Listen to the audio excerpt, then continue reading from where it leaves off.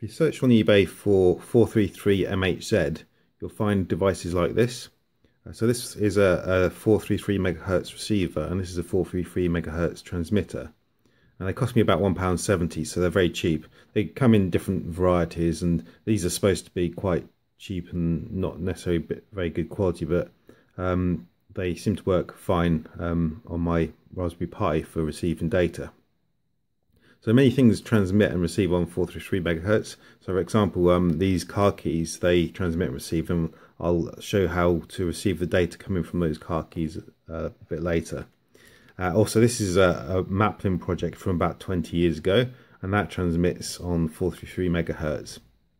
And there are other devices in my house as well which seem to transmit on 433 megahertz uh, and I'll show you data being received from those as well. So in the video, what I'll do is I'll go over the circuit uh, used to connect a Raspberry Pi to, to this. And then I'll go through um, actually running a program in Python which receives the data from these Mini keys uh, and also from this and also from whatever uh, is transmitting on the same frequency within my, I think it's within my house. It might be a neighbouring house. Uh, and then at the end, I'll go through the software and I'll explain how the software works as well. So this is the Raspberry Pi I'm going to use uh, to demonstrate this receiving circuit. So I'm not going to use the transmitting circuit, this is just going to be receiving data in this video. Uh, it connects to a couple of pins on the Raspberry Pi, so that's just one GPIO uh, pin and the ground uh, pin. Um, I'm running it from a PP3 battery. Uh, this circuit runs off of 5 volts and you could actually run it off of the 5 volts coming from the GPIO on the Raspberry Pi. Uh, but because I'm probably going to use this on a microcontroller project a bit later. Uh, I've just decided just to run it from a PP3 battery. It only takes a few milli milliamps of um, current, so actually doesn't take much uh, at all. Um, and I've just got this uh, little circuit here because this runs off 5 volts and the GPIO pins are 3.3 volts. Uh, I'm just using a trans transistor just to pull it down the ground. So the Python program will pull pull the pin up to 3.3 volts and then the transistor in here will just pull it down to ground, the signal down to ground. But I'll go through this circuit uh, also a bit later in this video. So I've got the two key fobs I'm going to test here, uh, and the script is on my Raspberry Pi. I'll check this into GitHub. If I run the script, and the first time it always come up um, with bad data for the first record, um, just because it's um, going from the beginning. Um, but if I press the button on, my, on, on this key fob and you see the LED light, and you see the hex data here, so it breaks it down to several different data types. It logs date, uh, data size, it automatically um, detects the baud rate by uh, finding the, the shortest period. It displays the binary data, then the hex data, then byte data. It displays in different these different types so that you can hopefully work out what the data is all about. In fact, actually, there's another log entry down here. This is the thing which I receive information from. It always seems to be on 56 seconds past the minute. So it transmits every minute. It's probably from some device in my house. Uh, and it always starts 2A, AA, AA, AA. Uh, but if I press the button on this key fob again, this one always starts 4E92492777. I'll press it again. There it is again, 4E294977. And, it, and the, of course the second button works as well. Got a bit of bad data now. It's possible I may have pressed that at the same time it received some other data. So, because if it clashed data, then it's going to come up with some weird stuff. So I'll press the second button again. There it is 40924927. But I've also got my mini keys here, which is just a standard to a car, mini car. So if I press the button on there, and it transmits. Uh, and this one starts off 55555555. But you see this is the data that's coming back from the from the key fob. So if I press it again, it starts off again 5555. But the rest of this data uh, it will be different. So even though you can receive this data on most cars, it should be, or on all cars, it should be different data you get back each time because they should use a thing called a one-time pad or something like that, where it's got a set of codes in the key, and It only transmits uh, a, any particular code once. Let me just press that button again. Okay, so if I you know, if I scroll up a bit there, I should hold the data here. Um, so it only should only receive uh, the same code once, uh, and then not use that code again, uh, which is about which is by the security of the car, it, so that you it, so no one can record like information like this and then just open the car by playing back the same inf information because the car will know that that code's already been used. So if I opened my car door and someone captured that, uh, and then they played it back. Well, because it's already I've already used that code to open the door. The Mini should know recognize that that's already been used and and ignore anyone that plays that back. Um, and this is this is only on standard uh, frequency anyway. This is like the 344 megahertz, which is a standard frequency. As you've seen, it, it receives something in my house which transmits on the same frequency. So so there's no it's not like it's a, a secure frequency or anything like that. I'm sure that um, they maybe maybe they encrypt the data uh, as well, um, but certainly it should only be ever uh, one code is used and then never used again. So this is the circuit I'm using. Uh, at the top I've got a 5 volt power supply, um, but you don't need a 5 volt power supply with Raspberry Pi, you can just drive it directly from the 5 volts. But I've got this just in case I want to drive it from something like a, a microcontroller, uh, so I might use that later. And then at the bottom of the circuit, so the transmitter or the receiver, sorry, that um that I've got, it's got a four pin connector and it's got a five volt input there and ground there, and then both of these in the pins are the data. So you only need to take the data from one. I take it through a 1k resistor. Then I've got a potentiometer where I can pull the signal closer to ground just to eliminate any noise or, or try and reduce the amount, amount of noise that comes from the um, the receiver, although I don't think there's that much noise there. But I take it through a um, a transistor, so it takes it away. So so I've not got the five volts coming out of there and going to the Raspberry Pi. Uh, the the, the uh, transistor just means that it goes between ground and whatever the pull-up value of the GPIO pin on the Raspberry Pi is. Um, so yeah, the transistor just just pulls the signal to ground, and that's the simple circuit that I'm using. So I'll just take a quick look through the source code. Um, at the top I've got some constants, so I define the RX pin that I'm using for the on the GPIO. I've got the TX pin there as well. Maybe in the future I might try the transmitter, but I haven't got any transmit code in there right now. Also, I've got this um, configuration where I can invert the bits because I'm going through a, an NPN transistor when I'm receiving the bits. The NPN transistor is going to invert the input, so I've got a configuration option in here where I can invert the the, the bits that were received. Um, I'm defining how what a period which I consider to be end of transmission. So when it's receiving some data, if there's a gap of one second that I've defined here, then it will consider that data's uh, complete and it will then display that on the display also a period where I consider the data is valid. Maybe it's invalid, maybe it's noise, or maybe uh, two communications have clashed. And if there is a, a, a, period of of this, which is very small period, was that milliseconds, micros, so about 20 microseconds. Uh, if there's uh, one of the clock pulses is about 20 microseconds or less, then it will consider that bad data and it will reject it. Uh, when I receive the data, I, receive it into like um, into like a data table, and these are the fields I've got within the data table.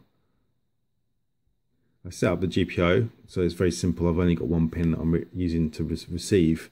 Now I was using interrupts, uh, or I tried using interrupts to receive the data, uh, but that wasn't very successful. Now that might be because the interrupts in Python aren't real time. Maybe they can get delayed, or there, was something that was corrupting the data. It wasn't. I wasn't getting good good data, so I, have gone away from the interrupt um, uh, system and I'm gone to polling, just data polling for this program. So I just set up my data initial values there just to so that it runs in the first loop. And I have an infinite loop, so I just keep going around and around receiving data. What I do is I check the time that I received the last bit uh, to the time that I've uh, the, this iteration of the loop is. And if it's less than the end period, then I consider I'm still receiving data. Once it goes over the end period, then I consider that's the end of the data and I'll display it. So in this first condition, I'm receiving data. Uh, or if the data length is zero, so if I've processed some data and although the period could have gone over the, the, the end period, because the data's uh, zero, I'm, I'm waiting for, for new data basically, and it will go into this first uh, condition on the if statement. It just gets level of the pin. If the pin level has changed, uh, then it appends the data to my set of data which I'm receiving. And in there I've got like a sequence count, so I'm just counting the sequence uh, of the data bits. They're not bits, they're levels actually at this, at this stage. Data levels being received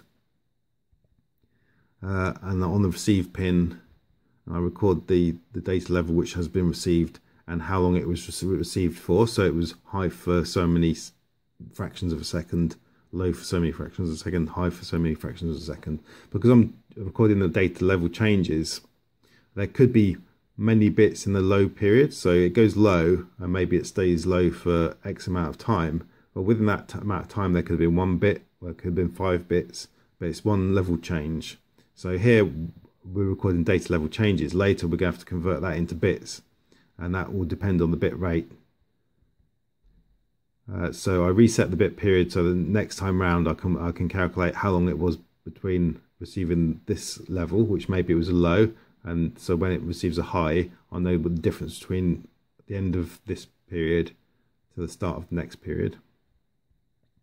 Uh, I just increase the sequence number, which I'm just recording in my data and I'm saying, okay, this level that I've just that I've just added to my data was at a certain level. So next time round, I'll be looking for the the opposite level. So when it's not the last level. Uh, so that's the simple receiving, and I, have made a very tight loop. So I've made tried to make this this piece of code very small uh, so that it can run very fast.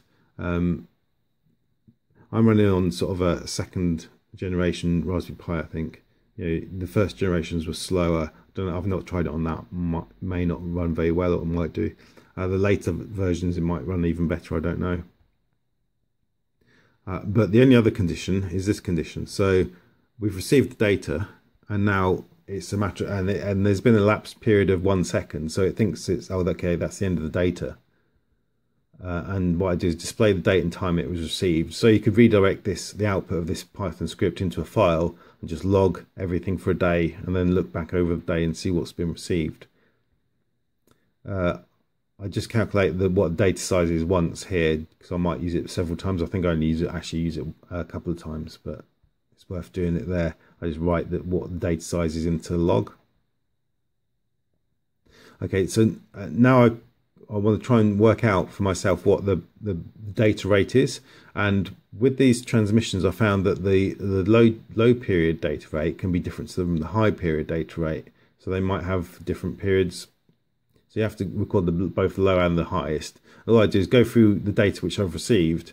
I find the shortest period. So where the data period is less than the period that I'm, I'm, that I'm currently looking for, which which I start off with being like a second. So then I, I look for a period lower than a second. Then as I go through the data, I look for a period lower than the last lowest period that I found. So I find in the data the lowest period for the high level and the lowest period for the low level. I consider that my data rate, but I don't look for all the data. So I skip the first couple of um, levels of data and I skip the last couple of levels of data just in case maybe there's stop bits, start bits, bit noise or something. So I just try and ignore the first few bits and the last few bits.